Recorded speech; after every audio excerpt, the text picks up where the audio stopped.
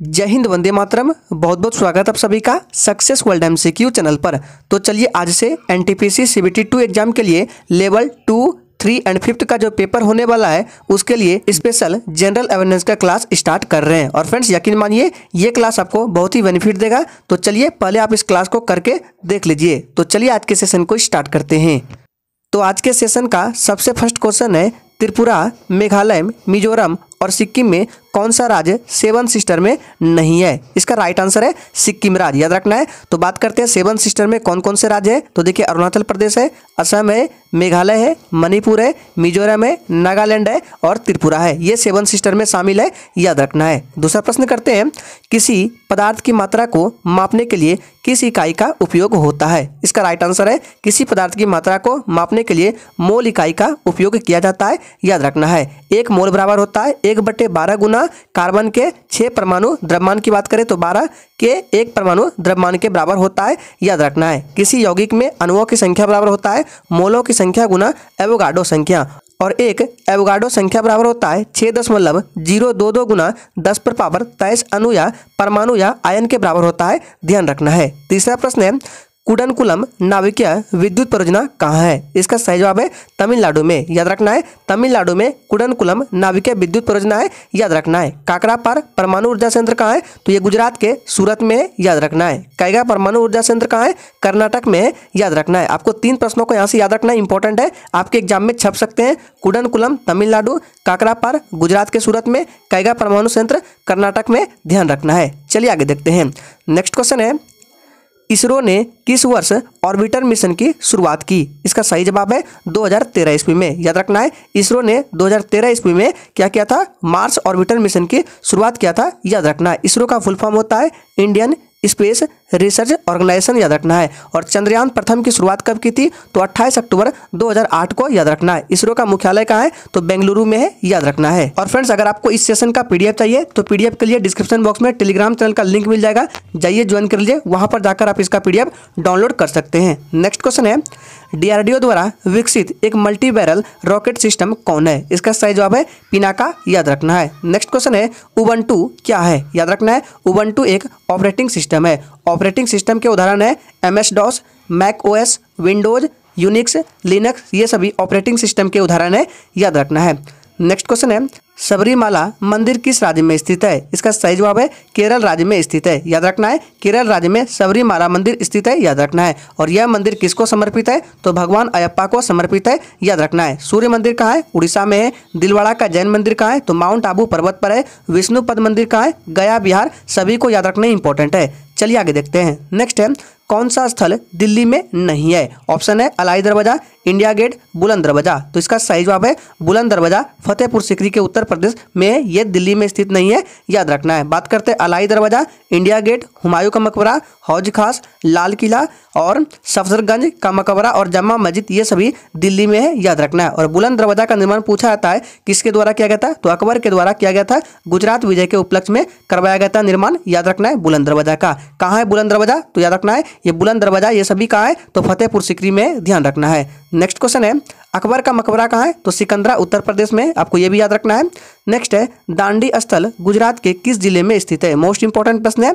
इसका सही जवाब है नवसारी जिला, याद रखना है। दांडी स्थल गुजरात के किस जिला में है? तो नवसारी जिला में याद रखना है। और ये भी याद रखना है, दांडी यात्रा महात्मा गांधी द्वारा कब शुरू किया गया था? तो 12 मार्च 1930 ईस्वी को शुरू किया गया था। महात्मा गांधी दांडी कब पहुँचे थे? तो 5 अप्रैल 1930 को पहुँचे थे। शुरू किया था 12 मार्च को और पहुँचे थे 5 अप्रैल को, याद रखना है। और फ्रेंड्स, अगर आप चैनल पर पहली बार आए तो चैनल को सब्सक्राइब करके साथ में बेल आइकन को ज़रूर प्रेस कर लेंगे ताकि आगे ये क्लास आपसे मिस ना हो। याद रखना है ये क्लास आपको डेली मिलने वाला है, इसलिए चैनल को सब्सक्राइब कर लेंगे। नेक्स्ट क्वेश्चन है यू का फुल फॉर्म क्या होता है? इसका सही जवाब है यूनिफॉर्म रिसर्च लोकेटर याद रखना है। नेक्स्ट क्वेश्चन है, स्वराज मेरा जन्मसिद्ध अधिकार है और मैं इसे लेकर रहूँगा। यह किसने कहा था? तो बाल गंगाधर तिलक ने कहा था, याद रखना है। नेक्स्ट क्वेश्चन है एक अप्रैल 2019 से किन दो बैंकों को बैंक ऑफ़ बड़ौदा में विलय किया गया। इसका सही जवाब है, देना बैंक और विजय बैंक को याद रखना है। नेक्स्ट क्वेश्चन है सजेबी पौधा कौन सा है? इसका सही जवाब है, काई या लाइकेन। याद रखना है, काई या लाइकेन को सजेबी पौधा बोला जाता है, याद रखना है। नेक्स्ट है,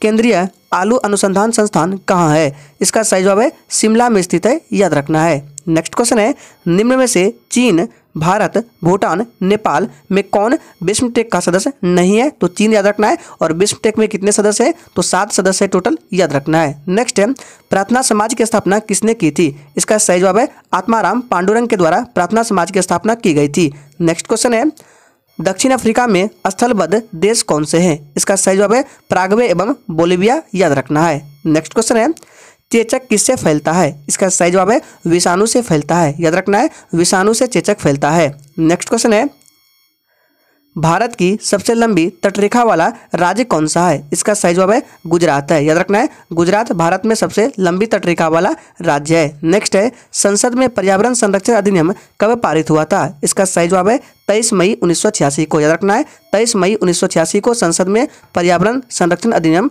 पारित किया गया था। नेक्स्ट क्वेश्चन है, ध्वनि का संचरण किसमें नहीं होता है? तो याद रखना है, ध्वनि निर्यात में गमन नहीं कर सकती है और ध्वनि किस माध्यम में सबसे तेज होता है? तो ठोस में याद रखना है, ठोस में, फिर द्रव में, फिर गैस में ध्यान रखना है। नेक्स्ट है, जोजिला दर्रा किसको जोड़ता है? याद रखना है, श्रीनगर को ले से जोड़ता है जोजिला दर्रा। नेक्स्ट है सेरीकल्चर किससे संबंधित है? इसका राइट आंसर है रेशम कीट पालन से। याद रखना है, सेरीकल्चर रेशम कीट पालन से संबंधित है। याद रखना है, अगर आपसे पूछे कि एपी कल्चर किससे संबंधित है तो याद रखना है, मधुमक्खी पालन से संबंधित है। पीसी कल्चर पूछे तो मत्स्य पालन से संबंधित है। याद रखना है नेक्स्ट क्वेश्चन है, कोल इंडिया लिमिटेड कैसी कंपनी है? याद याद रखना है, महारत्न कंपनी है, ध्यान रखना है। नेक्स्ट है सुकन्या समृद्धि योजना किससे संबंधित है? इसका सही जवाब है बेटियों के लिए केंद्र सरकार की एक छोटी बचत योजना जो कि 2014 में आया था, याद रखना है। नेक्स्ट है, पृथ्वी पर किसी व्यक्ति का द्रव्यमान 60 केजी है तो चंद्रमा पर द्रव्यमान क्या होगा? तो 60 ही केजी होगा, याद रखना है, क्योंकि द्रव्यमान पूछा जा रहा है, ना कि भार पूछा जा रहा है। नेक्स्ट है,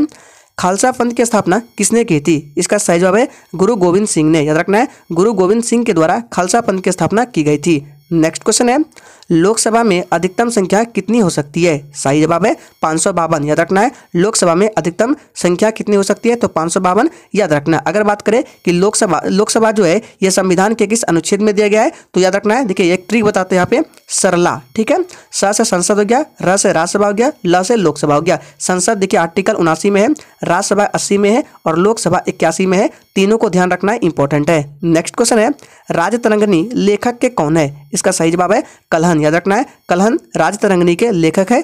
ध्यान रखना है। नेक्स्ट है, पानीपत की दूसरी लड़ाई कब और किसके बीच हुई थी? इसका सही जवाब है पाँच नवंबर पंद्रह सौ छप्पन ईस्वी को अकबर एवं हेमू के बीच हुई थी पानीपत की दूसरी लड़ाई। याद रखना है। नेक्स्ट क्वेश्चन है, भारत का सबसे युवा राष्ट्रपति कौन थे? तो याद रखना नीलम संजीव रेड्डी, ये भारत का सबसे युवा राष्ट्रपति थे। याद रखना है। नेक्स्ट है कंप्यूटर का मस्तिष्क किसे कहा जाता है? याद रखना है, सीपीयू को कंप्यूटर का मस्तिष्क कहा जाता है, याद रखना है। नेक्स्ट क्वेश्चन है, पहली वंदे भारत एक्सप्रेस किन दो शहरों के लिए चलाई गई थी? इसका सही जवाब है, दिल्ली से वाराणसी 17 फरवरी 2019 ईस्वी को पहली वंदे भारत एक्सप्रेस चलाई गई थी। याद रखना है। और फ्रेंड्स, अगर आपको ये सेशन अच्छा लग रहा है तो प्लीज़ सभी लोग सेशन को लाइक करेंगे और सेशन को अपने दोस्तों के साथ ज़रूर शेयर करेंगे। नेक्स्ट है, पट्टचित्र चित्रकला शैली किस राज्य से संबंधित है? इसका सही जवाब है उड़ीसा राज्य से संबंधित है। उड़ीसा की राजधानी भुवनेश्वर है। नेक्स्ट है, गोभी मरुस्थल किस महाद्वीप में स्थित है? इसका सही जवाब है, एशिया मंगोलिया देश में स्थित है। याद रखना है, गोभी मरुस्थल मंगोलिया देश में स्थित है। पूछे तो एशिया महाद्वीप में है, याद रखना है। नेक्स्ट है, निम्न में से कौन सा देश संयुक्त राष्ट्र सुरक्षा परिषद का अस्थायी सदस्य नहीं है? ध्यान रखना है। नेक्स्ट है अंतर्राष्ट्रीय न्यायालय का मुख्यालय कहाँ पर है? याद रखना है, द हेग में है और द हेग कहाँ है? तो नीदरलैंड में है, ध्यान रखना है।